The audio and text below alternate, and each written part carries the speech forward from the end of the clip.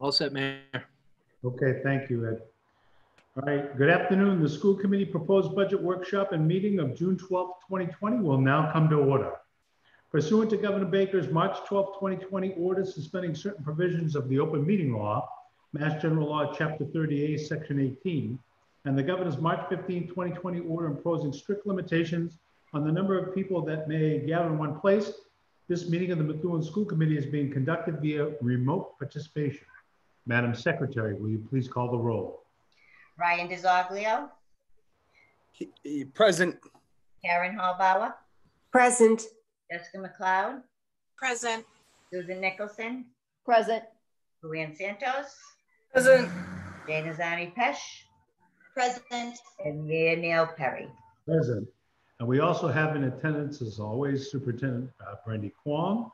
Uh, We also have Assistant Superintendent uh, Eric McGee, and we have Colleen McCarthy and Ed Lucier, and Ian Goslin, sorry, Ian, almost forgot you. So, all right.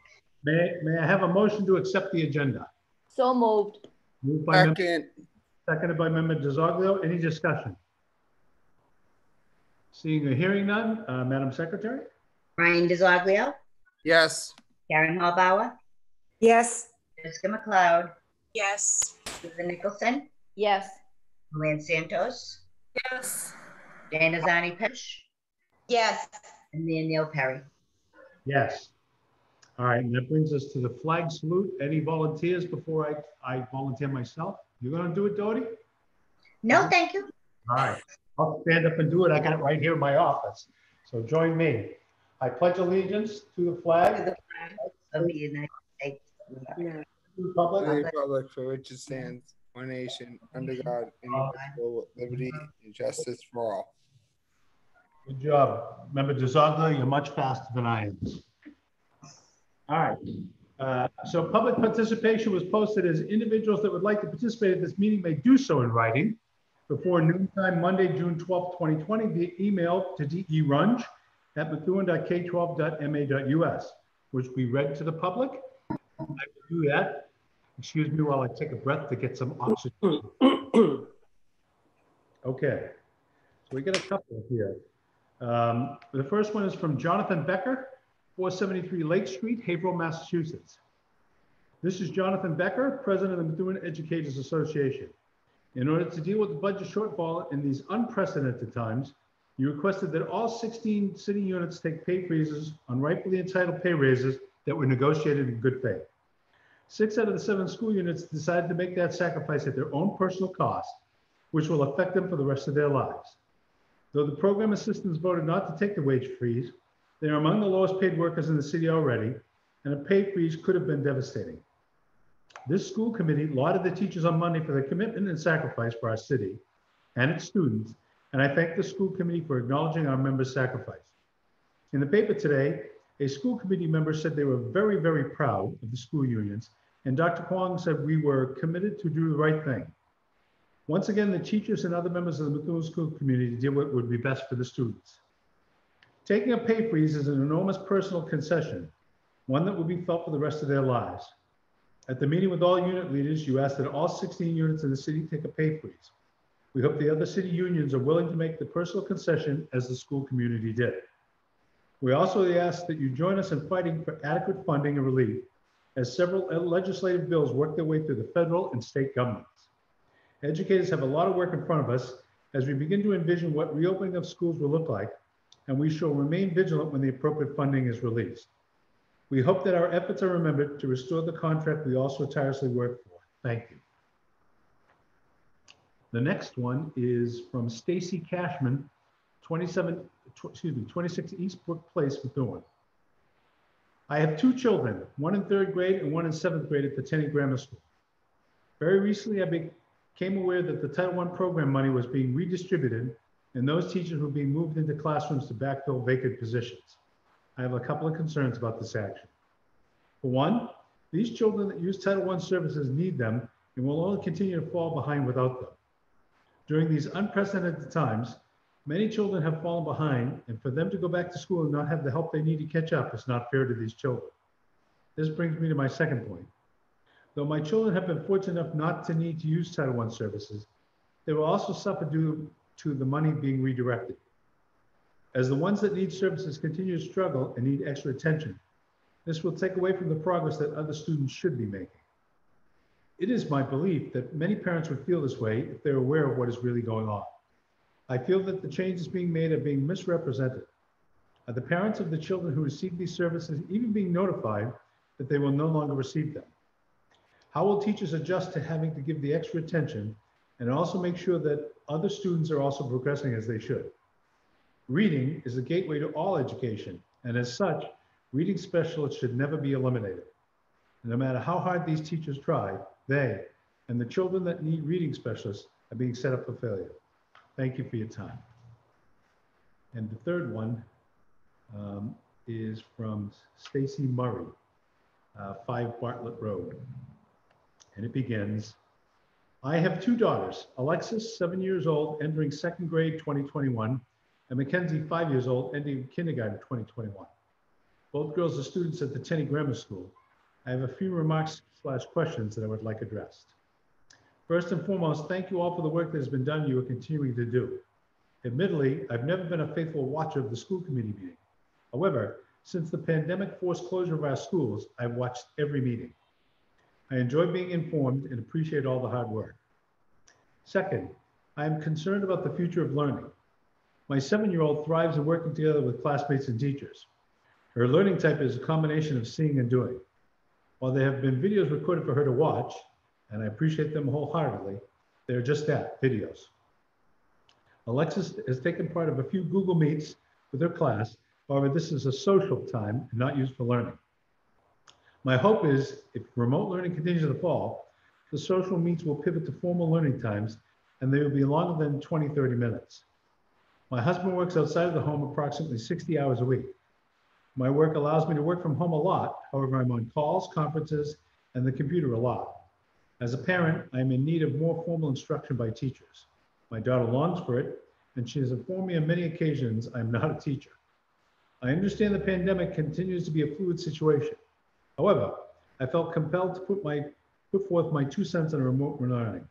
I've also included this in the community needs survey that was sent out. Third, if the future of learning does involve a hybrid of learning remotely and in person, has anyone thought about what that may look like for families and siblings?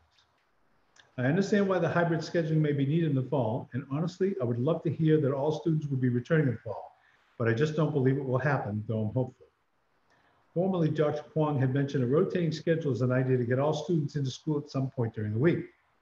Will siblings be given priority on the days attended? For example, Alexis, second grade, goes to school Monday, Wednesday, Friday, and remotes in on Tuesday and Thursday. Will Mackenzie, kindergarten, have the same schedule? I'm sure you understand the increased difficulty it would pose to families with working parents if they were not on the same schedule. Fourth, for those not familiar, the neighborhood I live in is unique, stretching from pediatric professionals to the state line behind Lowe's. It is a small slice of Sloan, Methuen, excuse me. However, it is comprised of five dead-end streets and Rosewood, which is a through street from Hampshire to 28. At our bus stop, Bartlett Road and Melissa Drive, is comprised of the following, approximately eight kids in lower school, six in the upper school bus, and six in the high school bus.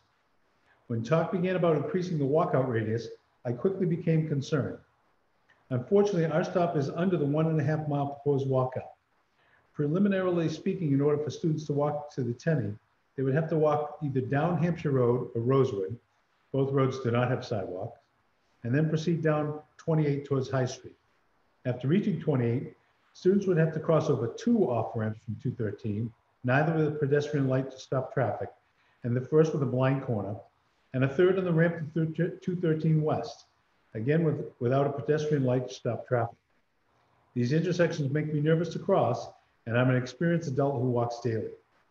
I would have a seriously hard time allowing my kids at any age to cross over the 28 213 bridge.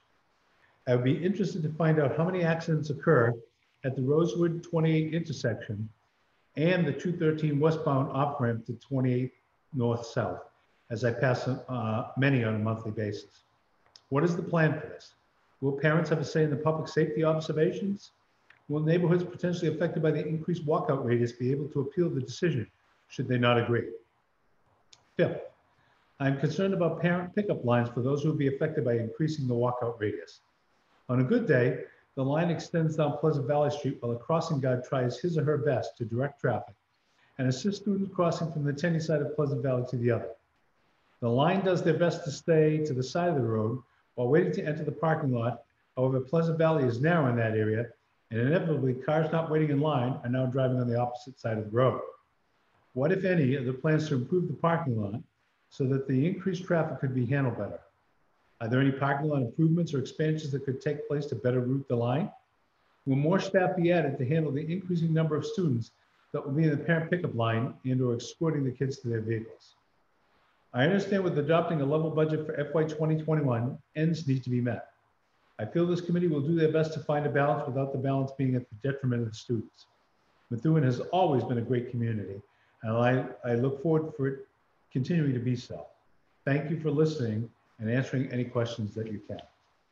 And those are the uh, public participations for this meeting. Okay. Just remember, if you'd like to read a comment at the next uh, school committee meeting, make sure you send your comments to derunge at methuen.k12.ma.us by Wednesday, June 17, 2020, before 3 p.m. in the afternoon. Okay, um, so that takes us to the MOUs.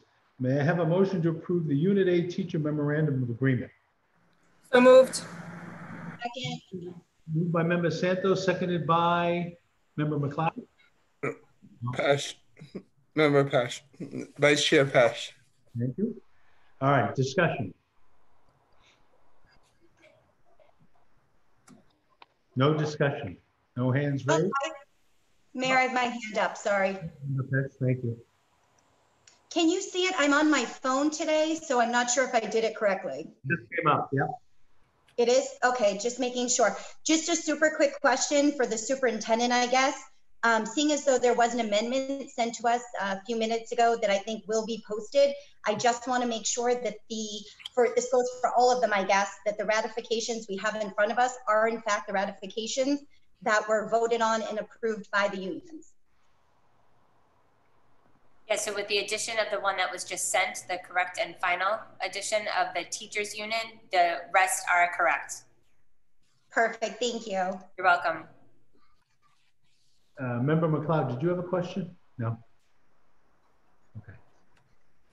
Any other questions on the Unit A Teacher MOA? Okay, Madam Secretary. Ryan DiZoglio, Yes. Karen Hollbauer, yes, Jessica McLeod, Yes. Susan Nicholson. Luann, Susan Nicholson, oh, there you are. That's a yes. Luann Santos, Yes. Dana Zani Pesh, Yes. Daniel Perry, Yes. Susan Nicholson. She's on now. yes, Yes, yeah, thank you. All right, passes unanimously. That moves us on to the Unit B Memorandum of Agreement. May I have a motion to approve. so moved. Second. Moved by Member Nicholson, seconded by Member DiZoglio. Got that right on the first try. Um, Any discussion?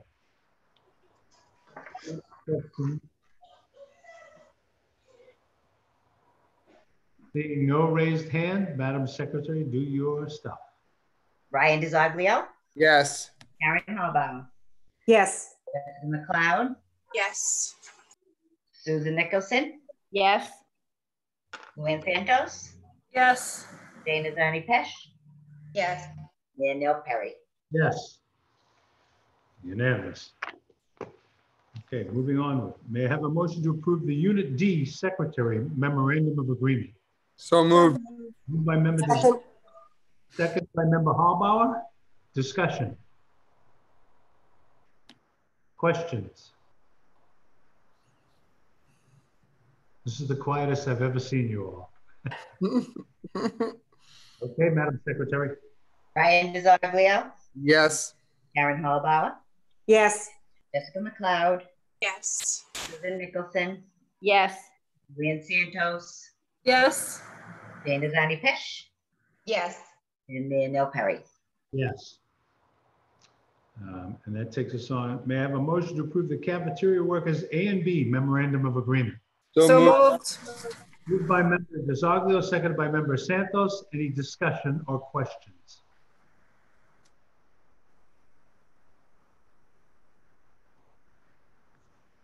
Okay, Madam Secretary. Ryan DiZoglio, Yes. Karen Hollbauer, Yes. Jessica McLeod, Yes. Susan Nicholson, Yes. Luann Santos, Yes. Dana Zani Pesh, Yes, and Neil Perry. Yes. Unanimous again. All right, moving on. May I have a motion to approve the Custodians Association memorandum of agreement? So moved. Second. Nicholson, Seconded by member DiZoglio. Any questions or any discussion? Madam Secretary. Ryan DiZoglio, Yes. Karen Hollbauer, Yes. Jessica McLeod, Yes. Susan Nicholson, Yes. Luann Santos, Yes. Dana Zani Pesh, yes, and Neil Perry. Yes. Unanimous again. Moving on, I- may I have a motion to approve the Mass Nurses Association memorandum of agreement? So moved. Moved by member DiZoglio, Second. seconded by member Santos. Questions or discussion?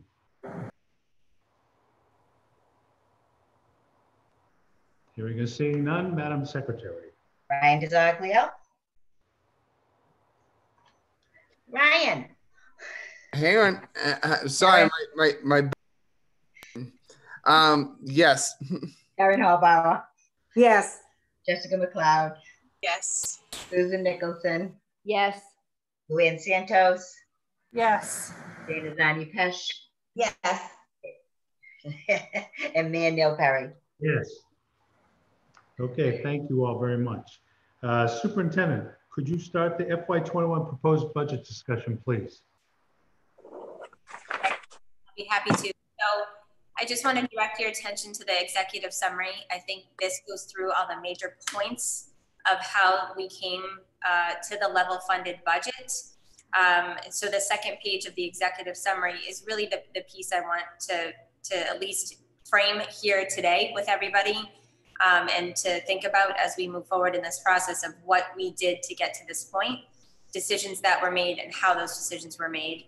Um, so the, the most important thing here is that we were um, tasked with the, with the fact that we needed to reduce our budget um, going into FY21 with level services. So carrying over what we had from last year um, would automatically lead to a three, three and a half point uh, million dollar increase with contractual obligations, collective bargaining agreements, uh, out of district tuitions, increase in transportation, in and out of district special education and regular education. Um, so without anything new, you know, those are automatic expenses for any school district.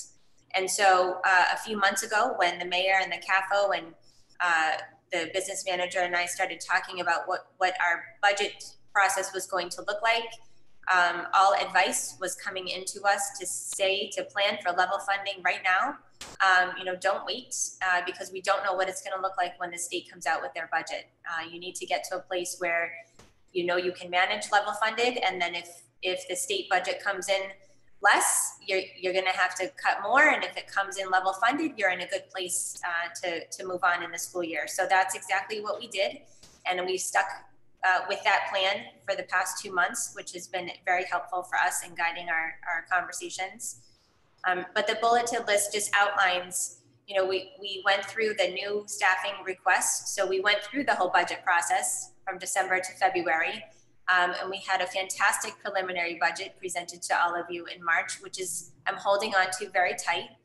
Um, you know, that is not something that is going to go away because those are, that preliminary budget really does uh, symbolize the needs of this district. Uh, and again, not not expecting that we can get there in any one given year. You know, we I was looking forward to conversations with this committee over, you know, how can we get there in the next two or three years, and that really was going to be what I was looking forward to the budget conversations being uh, in March, and that obviously has been put on uh, extreme hold at this point. Um, so the first step that we took was going through and looking at any of those new requests. Um, there are some of those requests that do remain in the budget, and and those are there very purposeful, purposefully, um, and necessary for either enrollment purposes or uh, obligatory services, right? So uh, servicing our uh, special education kids. I don't think we had any new positions in there for ELS um, at this time. But those are the those are the ones that we looked at closely with the directors and the principals. Um, our second step was then to meet with the principals again and the HR director and the business manager and I, and going through literally every position that we had in the district, uh, any vacancies that we we were going to uh, incur because of uh, retirements, resignations, non-renewals. Um, and so we did that. And so basically we cut through uh, a lot of those positions and we were able to talk about moves, you know, where was enrollment high and where did we need to fill enrollment gaps. And um, I think that the staffing sheets, the key hopefully was clear and I'll, I'll make sure of that tonight so you know what you're looking at um, for questions as you go uh, deeper in the next few days looking at the budget. Um, that process was incredibly complicated, um, incredibly time consuming, but but incredibly worthwhile because this is the kind of work that I believe has to go into making these decisions and making these things happen. Keeping in mind, and I, I did write it in my executive summary, and I, I I wholeheartedly believe it is the belief of this school committee as well. You know, keeping in mind the conversation about equity and the fact that we do have two schools that um, you know, we were already concerned about performance and class sizes and, you know, prior to all of this happening. So trying to keep that in mind to make sure that we're not offsetting large class sizes in one building or the other. So that's really where my mind was and our minds were when we talked about, you know, moving teachers, you know, eliminating a teacher in a grade in another building and moving them, um, you know, to offset again classes of 27 and 28 again at the 10 year Timony um, you know, just kind of looking at what that looks like. Um, so that was, I, I would, I would emphasize, and I think both the business manager and the personnel, the director of human resources will attest to this, that that was the most difficult part of this process. Um, it was really taking a thoughtful look at the personnel decisions that we were making and any moves that we were making. Um, so we also uh, calculated the any savings that we had uh, through this process, the closure. We had savings in staff, uh, professional salaries, substitutes, you know, things like that that we didn't have to use for three months. We had uh, significant savings there. We had savings in utilities. Uh, we had savings in stipends. Um, so anywhere we had any kind of savings during this closure, um, all of those funds, uh, as I have said repeatedly, uh, are going into uh, transferring expenses to circuit breakers so that we can build up our circuit breaker account to offset the out of district tuition costs, which again, we have talked about um, extensively here. Um, so the, the next bullet really talks about um, what the, the parent comment was. So we also were really forced to look at all of our sources of revenue. And this is something that over the past two years, when we had our audit last year, um, you know, because of the uh, home rule chart, uh, the home rule petition. Um, you know, one of the things that came out kind of loud and clear is, you know, really take a look at all of your funding sources, all of your grant sources. Are you using those funds to the best and most efficient way you can? Um, so we were forced to look at our Title One um, services. So we had plans in um, January, February, early March to, to look at um, moving from targeted assistance to school-wide, a school-wide uh, Title I. And the state really is encouraging uh, districts to move in this direction.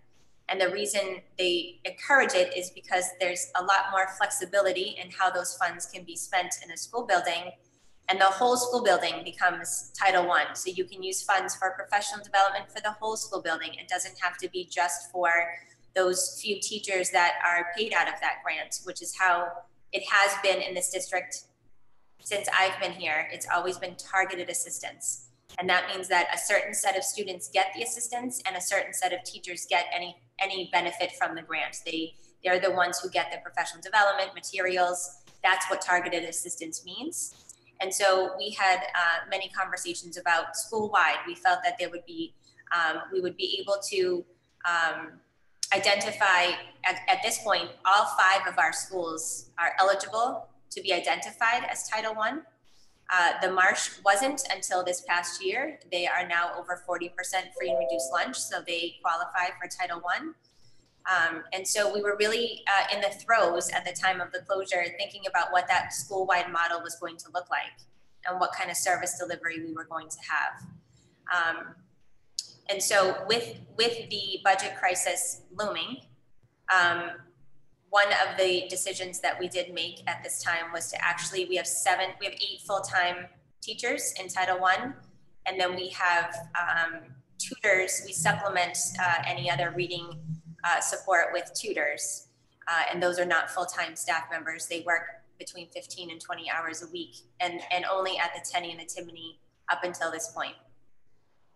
And so as we were looking at staffing, the only way, because if if we can all just remember, because I'm saying this publicly again, is that we were, we were tasked with getting to a budget that was going to be level funded with also the, the idea that we weren't going to have layoffs, right? We, we were trying to do this so that we could have people have jobs, not class sizes of 30 or 35, and be able to go into the summer with, with at least that uh, piece settled. Um, and so we are able to use the Title I funds in a school-wide setting to pay for any salaries because then all teachers and all staff become Title I teachers. And so we did that um, to make sure that we had class sizes, and you can see that on the staff sheet, the average class sizes. Um, we especially looked at elementary school uh, classrooms. Um, there are no elementary school classrooms, I think none over 24 or 25 in the district. Um, and, and we purposely put the Title I teachers in elementary and lower elementary where we could classrooms. Um, so I would say, is it ideal? Absolutely not. Uh, we want our Title I services to be for um, support. It's a, you know, and, and supplemental support.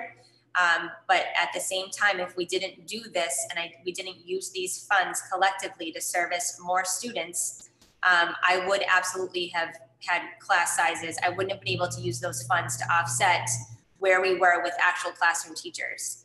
And they all have the certification. And I think one of the really positive things that the principals were excited about, and I met myself with the Title I staff a few weeks ago, a couple of weeks ago, um, to talk about this, is that um, change is hard, there's no doubt. But the principals were ecstatic to have reading specialists in the early elementary classrooms um, and the, what they could offer our children and what they could offer the team of teachers that they work with. Um, there are not a lot of elementary certified teachers that have a reading, reading certification or degree as well. And so, um, you know, that's a perspective that we're taking as well, that these teachers are now on teams and they have a very different um, approach to reading and a very different specialized approach to reading that we need as well. And so while it's not ideal that we're not going to be pulling out students and giving them supplemental service, so remember that for Title I, students are all in class. Title I students are, are spread out in every classroom and they're taught by their general ed teachers all, all day long. Um, what they do receive is a half an hour of supplemental supports for reading uh, during the intervention block. And so we are losing that. Um, but as we talked about weighing out that loss versus the loss of having 32 kids in a classroom, if I couldn't have these eight teachers supplement classrooms and fill some of these vacancies, um, you know, that for us outweighed. That's what we weighed for this decision. So I, I definitely, again, none of this is ideal. none of what we're doing right now is ideal, right? So, so what we're trying to do is put ourselves in the best position where um, we have a, a pretty even uh, class size amount right now, and we worked very hard to get to that point. I have a couple of concerns, which I will share with you, um, which I'm sure you guys will as well, about some of the classes in this particular budget that I'm hoping over the coming weeks can be rectified. Um, but I'll get to that in a minute. Um, and then the obviously the most impactful, uh, you know, the second most impactful piece was actually getting the wage freezes across the board. You know that these are where the large chunks of money um, really uh, came from to reduce the budget that we had down to the operating budget level. And so um, we did we did present the early retirement, as you are all aware, because you approved us to do that, um, to Unit A, and the deadline was actually today. And so um, I would say, unfortunately, we've only had one um, confirmed staff member who is going to take us up on it at this point. And so we're going to move forward with that person because we said we would. Uh, it'll still yield a little bit of savings, you know, not as much as we were hoping that this would with six to 10 teachers taking it. Um, I believe Colleen McCarthy had a dozen or so uh, really serious inquiries, but you know, once people started calling MTRS or looking at, you know, sort of outweighing taking this and not taking it, um, decisions at this point were made not to take it. So um, that was another piece. And so I can actually say, I didn't know that yesterday when I was typing this, but I do know that today, that um, it, it appears we only have one who is absolutely going to take it. Am I incorrect in that, Colleen? You're correct. All right, thank you. And so um, those are the identified sort of pieces that we did to get to this level funded budget. And again, I would just express none of this was uh, where we all wanted to be. And um, it is a very, you know, one of the things I think we have to keep in mind, and, and even after an approved budget, a lot does shift in a school budget, especially under the professional salaries. Um, just in the day, just between yesterday preparing this and today, I've had one leave request for next year. I'm anticipating other, you know, unpaid leave requests, things like that are gonna, they're going to happen. They always do. Um, I potentially will have resignations. Um, so all the things that we would expect to have happen between uh, now and August are going to happen. Um, so this is going to be fluid as well, which we are going to watch in very carefully um, and keep very careful track of because uh, all those things will play into whatever happens and comes down from the state level for the state budget. Um, so that's really the, the bigger pieces of how we came to what we did here. In your budget book, um, you have the budget summaries and uh, I would certainly, you know, ask if, if Mr. Goslin wants to say anything, he certainly can at this point. The, the staffing sheets, so I would like to ask if the staffing sheets make sense to all of you. We, uh, we, Colleen and Ian and I sat for hours to make sure that we had everything in the right place and that the color coding and the key made sense so that you can really see the movement that was made internally, positions that were eliminated, um, the positions that stayed. So there are those, you know, yellow color coded, the, the yellow highlighted, um, those would have been new positions that did stay. Um, so, you know, I would say today, I, I would want to make sure that you all feel that you have what you need to actually sit down and go through this and understand it. And I want to make sure that that's all clear. And I will certainly, any questions people have now, I do anticipate that our June 17th meeting next Wednesday night, which is only going to be the FY21 proposed budget discussion and workshop, um, is where there will probably be more questions because you will have had a little more time than 12 hours to actually look through um, uh, over 100 pages of uh, you know staffing sheets and budget sense. So we got a couple questions, Member Pesh. Thank you, Mayor. Um, and thank you, Superintendent, to you and your team. I know this was a monumental task and I appreciate it. I'm so happy you touched on the class sizes. I know that was a concern of so many parents, myself included. Um, so that's fantastic. And I also just quickly want to thank all the units again who made this even possible to put it together because we couldn't have done it without their sacrifice. So um, again, I really appreciate that. Um, my questions, actually, um, Superintendent, you hit it on the nose. My questions kind of revolve the key because I really haven't had a chance to dive into this and just preliminarily looking at it. Um, that's what my questions are revolving around. So I noticed there were some gray highlighted positions and I didn't see anything in the, the key that had um, reference to any gray highlights. Do we know what those are? Yes and it should have been in the key. Oh, so I apologize. So the key that says vacant position, unfortunately, when that was scanned in, that didn't come out as gray to all of you. So I Okay. apologize. So the, the, the second one under new request should have been grayed, uh, that gray color. Okay, so any gray is the vacant position. Okay, nope, that, that, that's helpful. Thank you. And then um, the internal moves, I actually really appreciated this, but I think, is it possible maybe to get a list? And the reason being is I was noticed that some of them will say like, you know, grade three going to grade four or whatever, but they don't all say that. So my confusion was in this. If there's an internal mo- move, and it says like grade three going to grade four, and I'm, I'm just using that as an example. I don't even know if that's in here really, but you know, if that is, then are you crossing out the original position as a position that has been reduced? Or are you labeling them both as a move?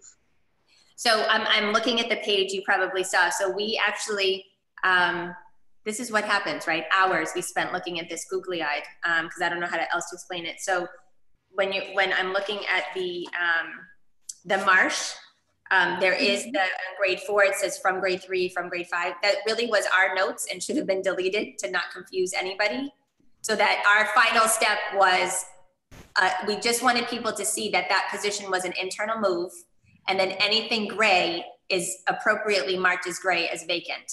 So anything that happened internally, right, is not considered a vacant vacancy if we filled it. And, and this is why I asked Colleen to come in case I misspeak on this, because it does get googly eyed and, and What, what about the first position though? With the, like, for that example in the marsh, the grade four teacher from grade five, would that grade five position, when I look through here, would that be then gray or would that be labeled as position has been reduced? If, if, yeah, can I answer? yes. Um, if, if you look at, uh, page two of the marsh, um, where it says, um, the pink, the pink says grade Actually, four teacher. What's that? I said, that's exactly the page I'm on right now. Okay, So perfect. If you go down to the grade five section, you'll see one of the Mm-hmm. positions are struck, struck out and left a dollar in it. So that's where the staff member was who moved into fourth grade. Not really. What page is the grade, sorry, what page is, oh, right there. Okay, so that's my, that's my question then. Is there a way to break up, and I don't want to do more work for you guys because you've done so much, maybe even a list. I don't expect this like all done over, but a list of these positions that have been reduced. How many of them were like, are, were any of them retirement positions that were vacant? We're just getting rid of, rid of them? Were any of them teachers that moved to another position and were any of them layoffs? No. So, so I'm sorry. Yes and no. But so where you see the anything that has been the the black line struck out, mm-hmm. that means we've eliminated the position. We didn't feel the need for that position, and we wanted to move that position to another place to fill a void, whether it was a vacancy or an enrollment request. Those are the only two things we looked at, right? To fill a vacancy where there was num- a number issue, or potentially an enrollment issue in like for example, the Timony grade three has an enrollment issue. And so Okay. we might have eliminated a position somewhere to fill a position. So there's, and this, and I'll say to you, Jana and Colleen and Ian were smiling when you said that. Um, we started with a list and then it got, in- it is so incredibly complicated to actually get a list because some were filled by a new position, some were filled by a vacancy, and then those got moved around. So for example, a vacancy might have just been eliminated but moved to another grade level or another building. Am I making any sense? It's, it gets really complicated to make sure that, and how we do that, Jana, is to, I'm sorry, member Pesh, is to make sure that the total number of FTEs, so when you look at that column next to that, the projected average class size that says FTEs, right? Those are the things that Ian built this to make sure that we had it, a formula right? That when we calculated this, if we were eliminating or adding, we're actually looking at the total number of FTEs. And so um, at the marsh, there's going to be a reduction of two FTEs because we, we eliminated those two positions totally. Those people did not get laid off. Nobody, no teachers got laid off. Zero. So those, But unaffiliated, but unaffiliated staff, there were layoffs. the only unaffiliated staff would have been lunch monitors and long-term, anybody who filled a long-term sub position, like a long-term program assistant position or any kind of long-term that wasn't a permanent position. So all those PAs that we see as position been reduced, they're all long-term subs or something like that.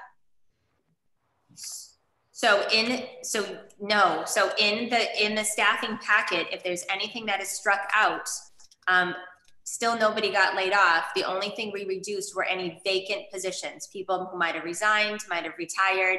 Um, that was what I tasked Gina and her team to do and say, listen, you have 12 vacancies, actually it was, Colleen, it was 17 vacancies we had for next year in program assistance. So of those 17, where can we move people? How can we reduce that number? And she's eliminated seven, I believe, at this time, and been able to move some people around. So no, no person got laid off. It was looking at how we can make things. That's why I said this is a complicated web of everybody kind of looking at everything together. And she worked for the past two months with her team to say, all right, if we can't fill all of these positions, one-on-ones are a little bit off we, can't really touch a one-on-one, right? Because those are in IEPs and those are one-to-one service delivery. How can we how can we manage if we eliminate one program assistant in a particular program? What do we have to keep in mind to do that? And and that's what her team has been working on. And sometimes it meant just even proximity of classrooms, so moving some classrooms, um, making sure that students are in an inclusive classroom at a different level so that it's not, they don't necessarily need a program assistant every period. I mean, they, this was a whole reworking of everything that we were trying to do um, from the beginning. So no, no staff, um, no staff in a collective bargaining unit got laid off. Okay, so just, just to reiterate, right? So other than the cafe monitors, lunch monitors, everybody else was basically repositioned. If that, if they weren't a retirement or an open position for the position that has been reduced. You're correct. Yes. So everybody was, yes, everybody was, has a job. And again, there were some of these internal moves were voluntary. So, so keep that in mind. We do, we want to make sure that you, you know, there were some moves that said we need to move some folks to fill sixth grade positions. Who wants to go? Because that's how we do it in the contract. And then we move people and then we have openings. Okay, well now we have these final openings. We knew where Title One could go. We knew what positions were open for Title One. Um, and so this is, it was all done in succession to, to follow the contract. Um, and, and the, the union officers worked with us the past, I would say three weeks with all of these conversations with all the staffs that were moved. Internal moves for principals, if a principal wanted to move a staff member within their building, they have a right to do that. They don't, that, that's not an involuntary move, that's a move within their own building. Um, we had maybe a couple, I don't even know if we had many of those. Most of them were voluntary. We might have had a couple of involuntary moves and the principals had the right to do that union representation and everything. Um, so yes, anything you see in red was somebody being either voluntarily moving to a grade, people being repurposed to another grade, moving from a building to another building. Um, I will tell you, you can see in the Marsh, the Marsh teachers that did move, they moved to another building. They actually moved to the CGS to fill in spots at the CGS that were left vacant. So this was, these were all moves that we did over the past two weeks with the, the personnel and with the, the people. So I feel obviously confident talking about it publicly right now, which is what I was hoping to avoid then to allow us to go through that process, which we have done the entire process to today. Perfect. Thanks for that clarification. So I don't need any more of a breakdown. I, I'm glad you were able to square that away from me. I think I'm good to uh, review everything now. Thank you. Member McLeod, did you still have a question? Thank you. Yes, thank you. Um, um, thank you, Member Pesh. Many of your questions completely helped me understand um, some of the questions I had. I do have one quick acronym question. Um, the TIP program at the Marsh. Yeah, so the, the TIP program is actually at the Tenney. There shouldn't be a TIP program at the Marsh. The TIP is the Therapeutic Intervention Program, and it's housed at the Tenney. Sorry if I wrote down the wrong school. I'm, that might have been user error. It's not at the Marsh because it, do, it doesn't exist at the Marsh. But TIP is the Th- Therapeutic Intervention Program, And that's the special education program housed at the Tenney. Thank you. You're welcome. Any other comments or questions?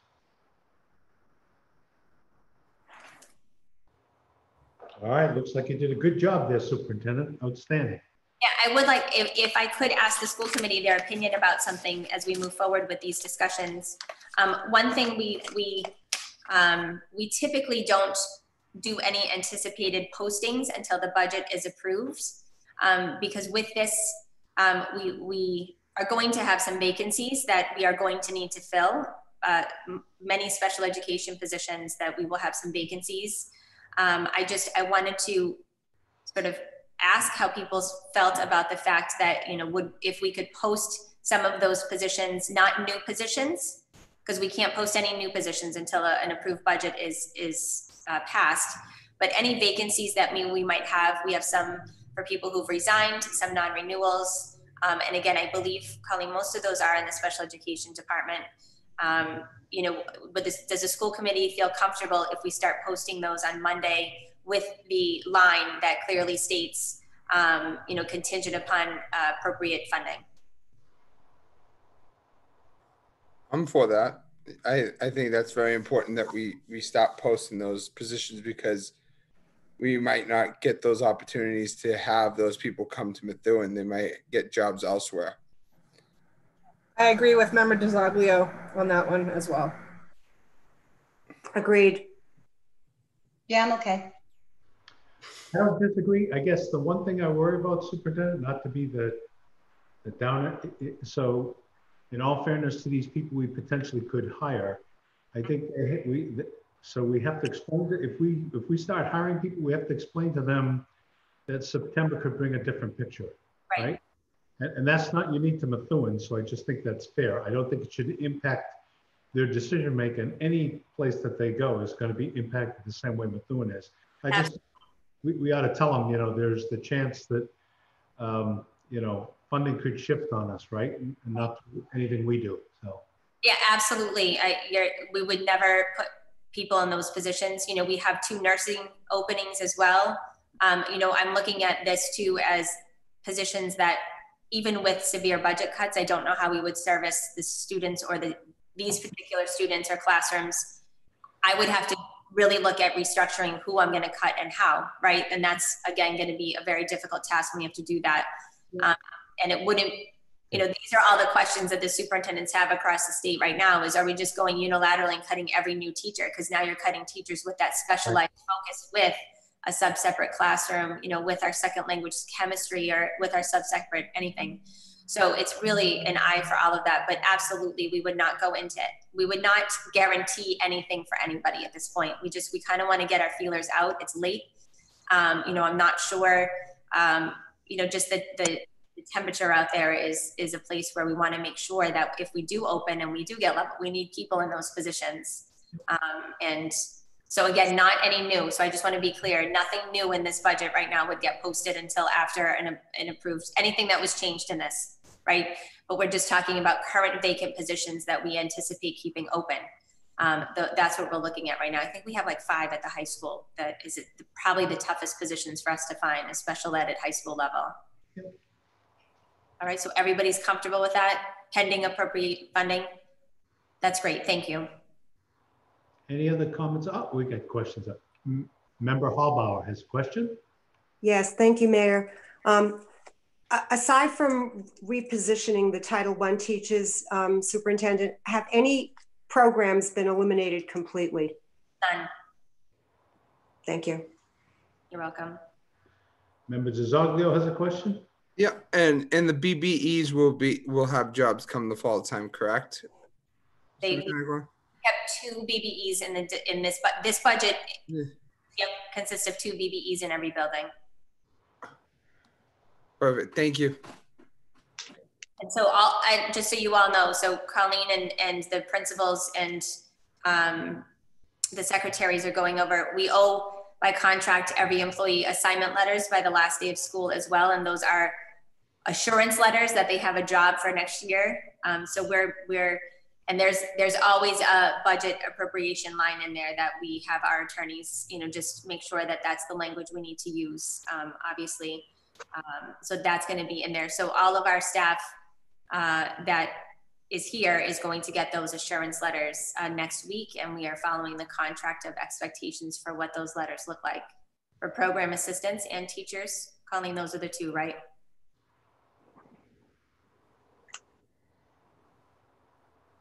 Okay, any other comments or questions? Ah, Member McLeod has a question. Thank you. Um, after the executive summary is um, a s- budget summary um, in which uh, it sums up the total of each line. Um, and there seems, there will be a $61,000 increase in supplies. Um, by no means would I expect um, to know how many um, Ticonderoga pencils um, the district intends to be buying but I would like to know more about that increase, not right now necessarily, but for the bigger conversation. Um, I would like to know more about that priority because I see a potential salary there um, as opposed to supply. So I'd like to know more about that. I can, I can answer most of that right now. Um, the vast majority of school supplies are level funded. Uh, there is a couple special ed supplies. We did need a small increase. Um, but the vast majority of that money is specifically supplies for cleaning, masks, custodial services, that kind of stuff. So that's what that increase is. It's specifically to the time that we're living in. And do you see some of that being offset with the CARES Act funds? Um, I, I believe it would be a lot larger increase if we didn't have the CARES Act. I see. Thank you very much. You're welcome. Member McLeod, thank you for bringing that up as well. I will, I will share with you on the 17th. Um, so I guess we'll have two agenda items. I apologize. But we, uh, Dr. McGee did submit the CARES Act grant today to, to DESE. So we will have that for you on the 17th to share with you. There are some positions in there. So we do need you to approve that. Um, and I know, and I apologize, it was a little bit backwards, but we're in this place and we can always do amendments. So I'm not, you know, if, if for some reason you don't agree with what we're doing, we can always do amendments um, down the road once the grant is approved to reflect any of the changes that we make. Um, but, but member McLeod, I believe, and Dr. McGee, correct me if I'm wrong, we probably have two to 300,000 at this point earmarked for sup- cleaning supplies and PPE in that grant. Um, That's it. That's it, two hundred fifty thousand, right on the money. So, so yes, it's going to offset. I, I don't even know right now. So, so Ian and Bruce are sitting on a webinar on Monday. Um, you know, we've been looking at, I mean, vendors are coming out of the woodwork right now um, with PPE stuff, uh, except even a lot of the people that we call, you can't get it. So this is what we're all up against right now is even, um, you know, the vendors are saying they have it. And then you, you're like, well, we need 7,000 and they don't have it. Or, or, you know, we need whatever it is. Um, so we're all facing that right now. The commissioner is aware of that as well. So um, there is a call, isn't it a Zoom call, I believe, right, You know, Monday, Yep. just about that kind of equipment for next year. But our CARES Act will supplement a lot of the cleaning blocks next year, we believe. Um, a lot of the increased potential. So this is all, we had to write this grant not knowing what the guidance is yet, um, but the potential for, and again, knowing that we can uh, do any amendment at any point in time. It's it's a, it's a grant, so that there's that opportunity to do the amendment. Um, it was just critical for us to get that in today on time um, to be able to obligate funds. So we also put in that grant the the um, the 122,000 we we spent in operating budget for the teacher Chromebooks. We did put that in this grant. So so in order to obligate those funds for FY20, we had to submit the grant today we couldn't wait another two weeks to do it. Thank you very much. You're welcome. Okay. Any other comments or questions? Hearing or seeing none, uh, thank you, Superintendent, that was good. Uh, Can I get a motion to adjourn the meeting? So moved. Moved by Member Nicholson, seconded by Member Pesh. Uh, uh, Madam Secretary, if you'd do the roll. You're on mute.